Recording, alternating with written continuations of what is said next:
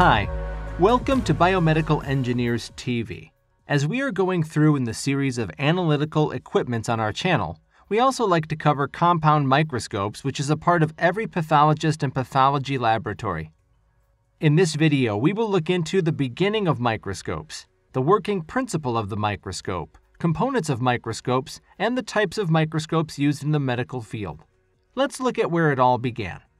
Three Dutch spectacle maker, Hans Janssen, his son Zacharias Janssen, and Hans Lippershey have received credit for inventing the compound microscope about 1590. The first portrayal of a microscope was drawn about 1631 in the Netherlands. It was clearly of a compound microscope with an eyepiece and an objective lens. This kind of instrument, which came to be made of wood and cardboard, often adorned with polished fish skin, became increasingly popular in the mid 17th century and was used by the English natural philosopher Robert Hooke to provide regular demonstrations for the new Royal Society.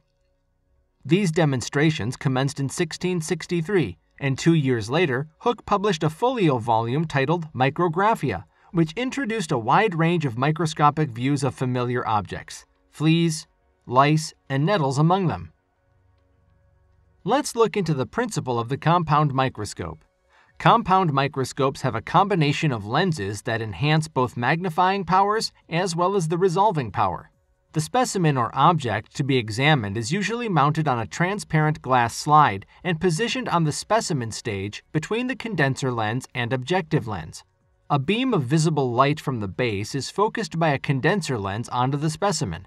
The object lens picks up the light transmitted by the specimen and creates a magnified image of the specimen called the primary image inside the body tube.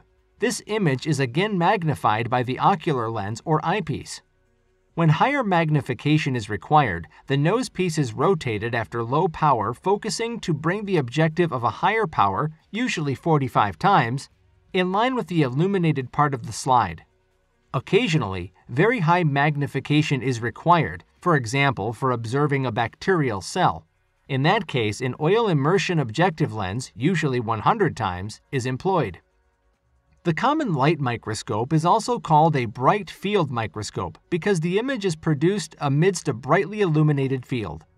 The image appears darker because the specimen or object is denser and somewhat opaque than the surroundings. Part of the light passing through or object is absorbed. Let's learn about the components of the compound microscope. The first component is the eyepiece and body tube. The eyepiece is the lens through which the viewer looks to see the specimen. It usually contains a 10 times or 15 times power lens. The body tube connects the eyepiece to the objective lenses. The second component is objectives and stage clips. Objective lenses are one of the most important parts of a compound microscope. They are the closest to the specimen. A standard microscope has 3 to 4 objective lenses, which range from 4 times to 100 times. Stage clips are metal clips that hold the slide in a place. The third components are the arm and the base. The arm connects the body tube to the base of the microscope. The base supports the microscope and its illuminator. The fourth component is the illuminator and the stage. The illuminator is the light source for a microscope. A compound light microscope mostly uses a low voltage bulb as an illuminator. The stage is the flat platform where the slide is placed. The fifth component is nosepiece and aperture. The nosepiece is a rotating turret that holds the objective lenses. The viewer spins the nosepiece to select different objective lenses. The aperture is the middle of the stage that allows light from the illuminator to reach the specimen. The sixth components are the condenser, iris diaphragm, and the diaphragm. A condenser gathers and focuses light from the illuminator onto the specimen being viewed. The iris diaphragm adjusts the amount of light that reaches the specimen. The diaphragm is a five-hole disc placed under the stage. Each hole is of a different diameter. By turning it, you can vary the amount of light passing through the stage opening. Let's end the video with types of microscopes and application. There are several different types of microscopes used in light microscopy, and the three most popular types are the compound, digital, and the USB computer microscope. Some types are best suited for biological applications, where others are best for classroom or personal hobby use. As we have already seen and learned about the compound microscope, Let's look into the digital microscope. Step into the 21st century with a digital microscope and enter a world of amazing detail.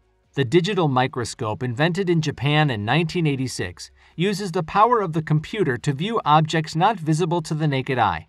Among the different types of microscopes, this can be found with or without eyepieces to peer into. It connects to a computer monitor via a USB cable, much like connecting a printer or a mouse. The computer software allows the monitor to display the magnified specimen. Moving images can be recorded or single images captured in the computer's memory. An advantage of digital microscopes is the ability to email images as well as comfortably watch moving images for long periods. The next type of microscope is the USB computer microscope. Although not well suited to the same scientific applications as other light microscopes, the USB computer microscope, among the different types of microscopes, can be used on almost any object and requires no preparation of the specimen. It is essentially a macro lens used to examine images on a computer screen plugged into its USB port. However, the magnification is restricted and is not comparable to your standard compound light microscope at only up to 200 times with a relatively small depth of field. The third type of microscope is the electron microscope. Electron microscopy, or EM, is a technique for obtaining high resolution images of specimens.